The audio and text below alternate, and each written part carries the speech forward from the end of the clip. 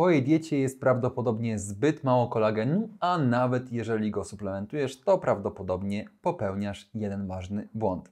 Zapraszam do oglądania. Michał Undra, Akademia Zdrowia TV.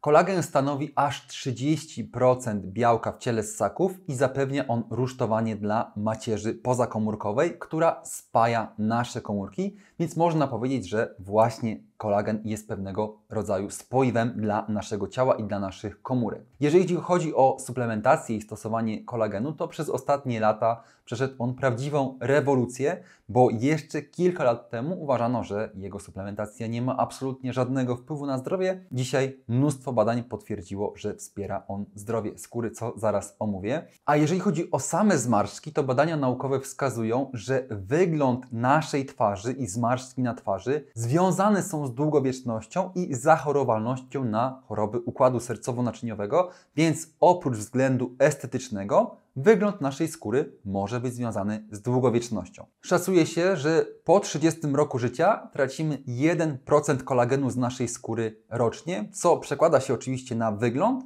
ale także na nasze zdrowie i wraz z wiekiem nasza skóra staje się coraz gorzej nawilżona, mniej estetyczna i powstają coraz większe zmarszczki. Jeżeli chodzi o czynniki, które najbardziej upośledzają syntezę kolagenu, to jest to przede wszystkim nadmierne promieniowanie ultrafioletowe. To bardzo wyraźnie widać po osobach, które dużo się opalają, ta jędrność skóry jest znacznie pogorszona. Tutaj mówimy o poparzeniach słonecznych, a nie o zwykłej ekspozycji na światło słoneczne, ponieważ ja nie uważam, że powinniśmy całkowicie unikać ekspozycji na światło słoneczne, czy przy każdym wyjściu na zewnątrz powinniśmy się smarować kremem z filtrem. Jeżeli ta ekspozycja jest umiarkowana i kontrolowana, to może być dla nas wręcz korzystna. Kolejna kwestia to niedobory witaminy C, które w skrajnych przypadkach prowadzą do szkorbutu, który właśnie związany jest z zaburzoną syntezą kolagenu. Stąd oczywiście wniosek, że suplementacja witaminą C wspiera zdrowie kolagenu, jednak w ten sposób to nie działa, ponieważ niedobory witaminy C praktycznie nie występują w naszym społeczeństwie. Żeby wywołać niedobory witaminy C, należy spożywać skrajnie monotematyczną i niedoborową dietę, w której nie ma praktycznie w ogóle owoców, warzyw, zbóż, strączków, nasion czy orzechów co raczej się nie zdarza. I dodatkowo nie działa to w ten sposób, że im więcej witaminy C, tym lepsza synteza kolagenu, a te 80-90 mg witaminy C bez problemu dostarczamy w standardowej diecie.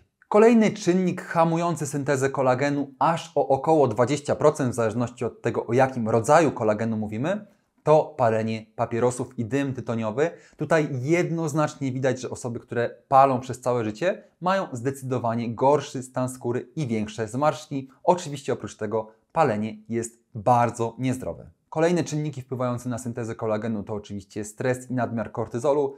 To ponownie często możemy zauważyć, gdy osoba przeżyła bardzo znaczący stres w życiu, to bardzo często przez kilka lat jest w stanie się zestarzeć znacząco, co widać od razu po jej twarzy. I ostatnie czynniki, które wymienię, to nadmiar glukozy i homocysteiny. Nadmiar glukozy powoduje tak zwaną glikację, czyli łączenie się właśnie glukozy z białkami, co powoduje, że kolagen staje się mniej funkcjonalny i bardziej sztywny. Podobnie działa nadmiar homocysteiny.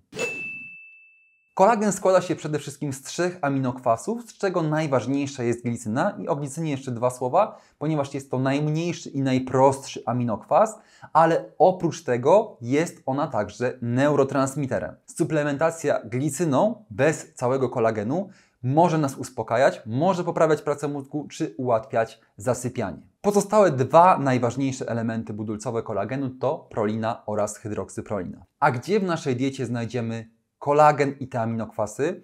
Znajdziemy je przede wszystkim w produktach mięsnych bogatych w kolagen, takich jak żelatyna, buliony gotowane przede wszystkim na kościach, ale także na skórach, ponieważ skóry z mięs, skóry z kurczaka zawierają dużo kolagenu, a standardowe mięso, które spożywamy, czyli po prostu zwykła wieprzowina, łopatka, steki czy drób, nie są bogatym źródłem kolagenu, mają one inne profile aminokwasów. Oprócz tego ryby czy jajka zawierają w pewnym stopniu kolagen. Jeżeli chodzi o wpływ suplementacji kolagenu na nasze zdrowie, to w ostatnich latach badania jednoznacznie wykazały, że zdecydowanie poprawiają one zdrowie i stan skóry, hamując powstawanie zmarszczek, poprawiając nawilżenie skóry i jej jędrność. Jeszcze do niedawna istniała teoria, że skoro kolagen jest białkiem, to po wchłonięciu przez nasz organizm nie będzie on z powrotem użyty do syntezy włókien kolagenowych, co w ostatnich latach zostało bardzo szeroko przebadane i wykazano, że suplementacja czy spożywanie kolagenu jednoznacznie przekłada się na syntezę kolagenu w naszym ciele, głównie w skórze. I obecnie uważa się, że kolagen prawdopodobnie jest najlepszym i najskuteczniejszym suplementem, który będzie wspierał estetykę i zdrowie naszej skóry. Oprócz tego kolagen działa ogólnie rzecz biorąc przeciwzapalnie i to wykazano przede wszystkim w chorobach stawów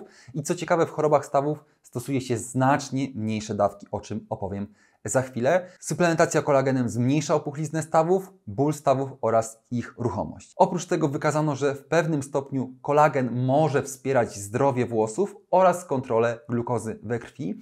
Jednak tutaj prawdopodobnie jest to związane z tym, że kolagen jest po prostu białkiem i jeżeli spożywamy tego białka w diecie więcej, to przekłada się to na na przykład lepszą kontrolę glukozy we krwi.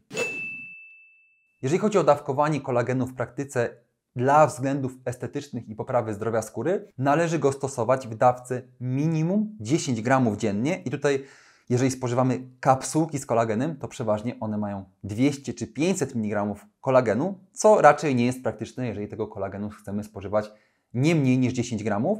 I idealną postacią kolagenu, jaki chcemy spożywać, to hydrolizowany, czyli wstępnie rozłożony, kolagen rybi. A jeżeli chodzi o wspieranie zdrowia stawów, szczególnie w chorobie zwyrodnieniowej stawów, to już dawki 200 razy mniejsze, czyli zaledwie 40 mg dziennie, wykazało efekty zmniejszania bólu stawu i opuchlizny, także dawkowanie należy dostosować do naszych celów. Nieważne jaki rodzaj kolagenu spożywamy, należy zwrócić uwagę na jego jakość, ponieważ zarówno w rybach, jak i kolagenie z mięsa często gromadzą się toksyny, dlatego warto wybierać suplementy dobrej jakości. W praktyce najlepiej kolagen przyjmować po prostu jako czysty proszek, bez żadnych dodatków smakowych czy innych.